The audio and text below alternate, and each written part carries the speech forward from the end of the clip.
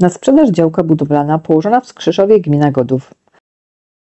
Działka dziesięcioarowa przeznaczona pod zabudowę jednorodzinną. Płaska o wymiarach 47 na 21 metra. W kształcie prostokąta. Dojazd drogą asfaltową. Media typu woda, prąd, gaz, kanalizacja miejska. Okolica bardzo spokojna i zielona. Jesteś zainteresowany? Zapraszam. Izabela Chudecka.